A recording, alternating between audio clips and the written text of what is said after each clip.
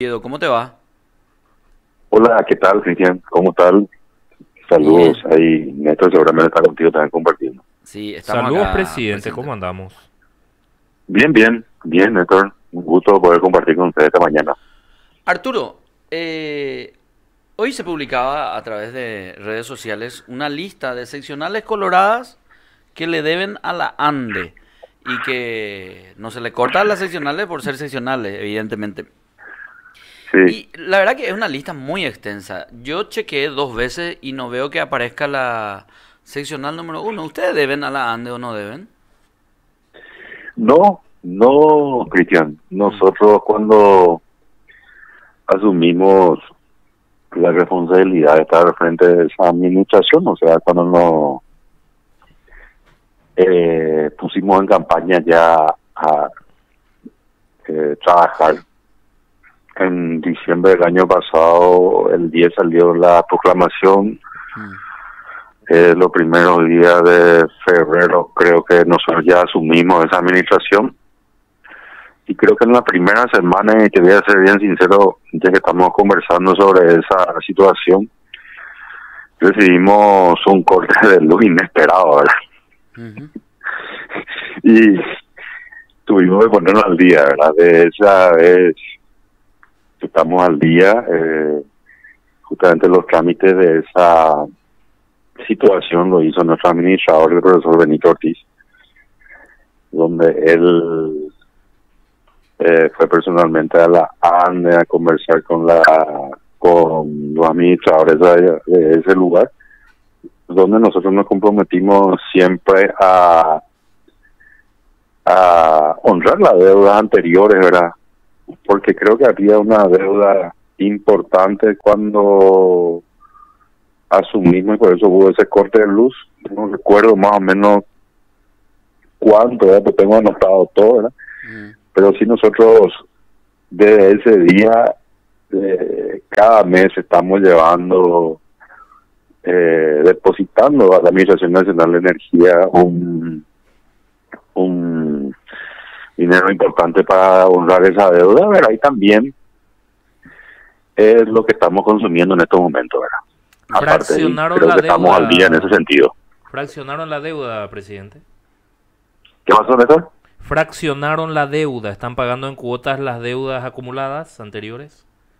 Sí, estamos eh, pagando con un monto importante, ¿verdad? ¿verdad? Y eh, estamos al día con nuestra administración. ¿Nos recordan estimativamente a cuánto ascendía la deuda cuando te tocó llegar a la administración? Y creo que era 14 millones, me parece. 14 o 25 millones, era. ¿Y eso es de la seccional o de los salones que alquilan también? eh, Y no y de la seccional, de todos los salones también que se alquilan, ¿verdad? ¿Acaso no tienen medidores individuales los arrendatarios? No, no. Eh, el que tiene medidor individual es es el del tinglado con relación al deporte de básquetbol. ¿Y cómo hacen mensualmente un prorrateo, un estimativo? ¿Cómo sabe Sí, un Hay, inquilino cuánto hay debe un pagar? estimativo, ¿verdad? Mm. Eh, donde nosotros eh, cobramos un monto ínfimo ahí de alquiler, ¿verdad? Eh, que estamos procurando y conversando con algunos, algunos, eh, para las personas que alquilan, en poder subir un poquito más en la, la cuestión de, alquiler de este año, pues todavía no lo conseguimos, pero estamos en conversación con ellos, ¿verdad? Bueno, quería nomás saber eso, porque no aparecía la seccional uno en la lista de morosos. Ustedes están fraccionando y están pagando al día. Eso nomás queríamos saber. Sí, Arturo. estamos, pero no, nuestra nuestra administración está al día, al día. Bueno, Eh, la administración anterior es lo que recibimos nosotros con un, un- una cuestión de, de esa deuda, pero estamos ya fraccionando y estamos pagando, ¿verdad? bueno, Creo que es un logro importante que estamos consiguiendo en esta administración nueva, ¿verdad? Y ahora estamos abocándonos en arreglar ya un poco la seccional, ¿verdad? Dejar un poco ya en un orden más más más lindo lo que tiene que ser para la visualización de la gente, ¿verdad? Entonces, eso es lo que queremos hacer ahora en la seccional. ¿Recibiste saldo rojo negativo la seccional Y entonces? 14, presidente? 14 en luz. ¿Qué pasó? ¿No te mamá? ¿Recibiste saldo rojo la seccional o, o salvo lo, lo de la luz? Eh, ¿te, te, te tocó algo? Algo más Y que sí, pagar. recibimos con el tema de la luz.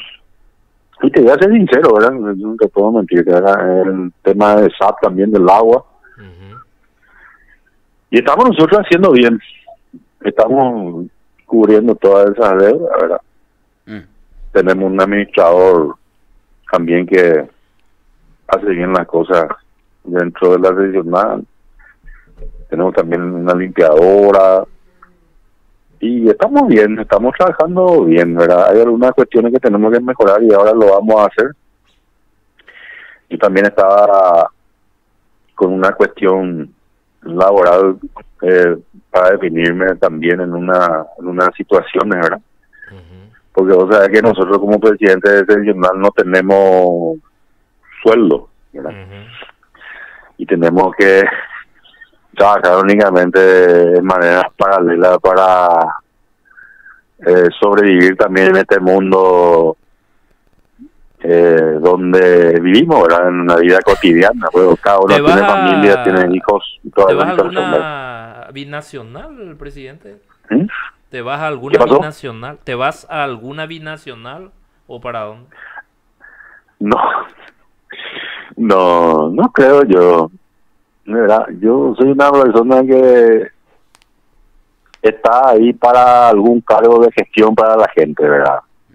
Yo soy un hombre que siempre he honrado la confianza que el elector me dio a mí en elecciones pasadas, ¿verdad? Así cuando fui concejal, después cuando fui candidato a intendente, Yo creo hoy que soy Arturo presidente podría ser. y a mí me queda, me queda bien, un, creo yo, una situación de hombre de gestión. Yo creo, Y eh, siempre- Arturo, Sí, yo creo que vos podrías ser ministro, porque cinco ministros iba a haber acá de Oviedo Ajá. y a nadie le tocó, entonces y Catunde con de la ministro, Gina. Y nosotros estamos preparados, Cristian, ¿verdad? Yo no puedo ir tu pregunta no, puedo decir- no te puedo decir que no, ¿verdad? Mm. No, porque viste que en yo soy campaña una pues, todo el persona- mundo de Oviedo iban a ser ministro, ¿verdad? Se alzaban fotos, Mm. ministro en situación de Sí, espera. eh. pero ese paiteo no en Sí.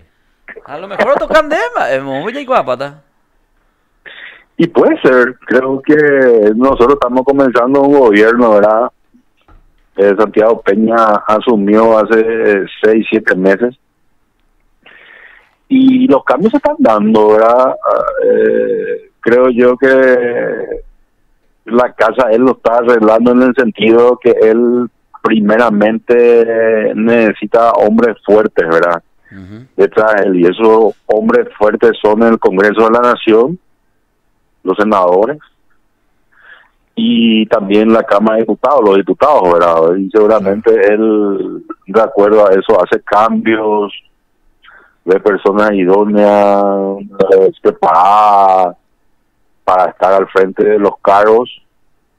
Y nosotros creo que tenemos la capacidad plena también de ocupar algún cargo de gestión para ayudar al mejoramiento de nuestra comunidad y principalmente de nuestros lectores, ¿verdad? Que eh, son muchísimos eh, que tienen mucha fe en nosotros, en nosotros y eso nosotros nos aboca siempre a seguir trabajando, ¿verdad? Aunque no ocupemos todavía ningún cargo importante.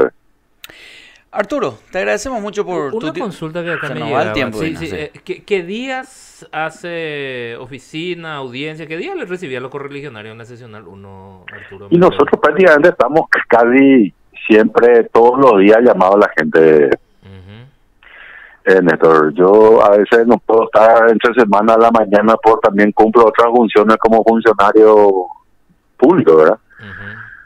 Pero siempre estamos nosotros los sábados a la mañana por la seleccional recibiendo a nuestros correligionarios y correligionarias, también las personas que no son parte de nuestro partido, que son vecinos.